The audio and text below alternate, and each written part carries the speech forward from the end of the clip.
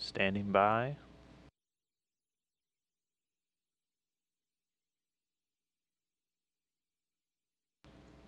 Confirm the snares on the arm are open.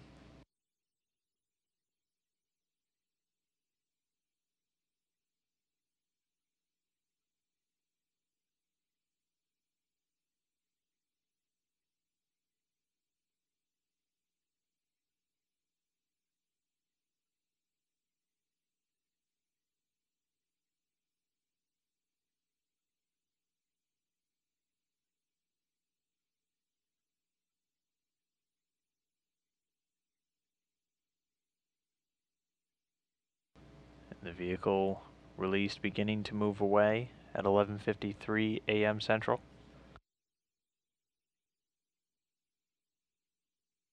And there it is, it's off after five weeks.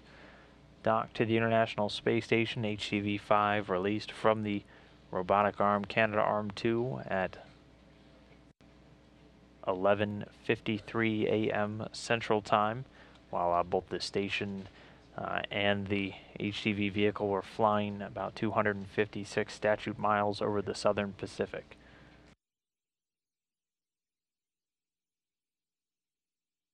So again, HTV released about one minute after the departure.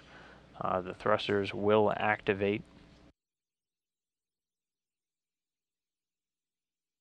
Then at about 11.58 or so, the first departure maneuver uh, should take place.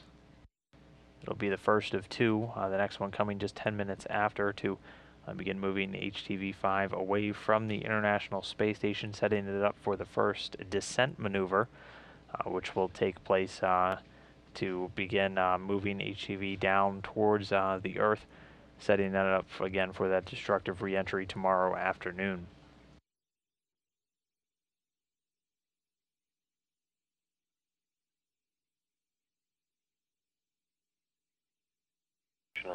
For the vehicle as it slowly drifts away. Timer has been started.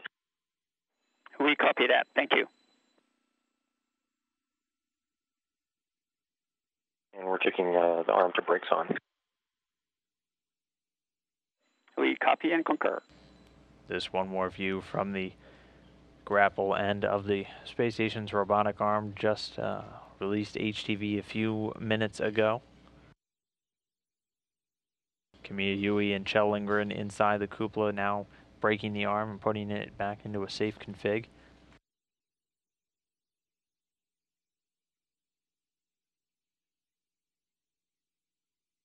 And for uh, time hack purposes, our PET is at 2.30 now.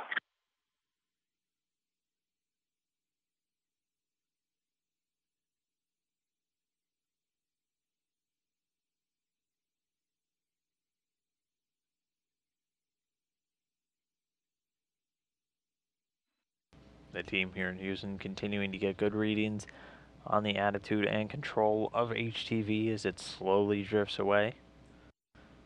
Again, just released uh, about eight minutes ago at 11.53 a.m. Central Time, 12.53 p.m. Eastern. Wrapping up a five-week attached mission to the International Space Station.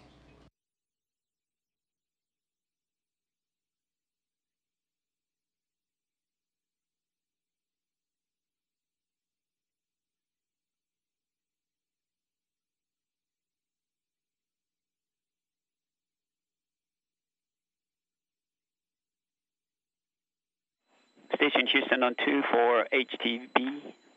Abort type is set to passive. Pre please verify per step 6 in 1 decimal 602. In we can verify per step 6 that the abort type is passive.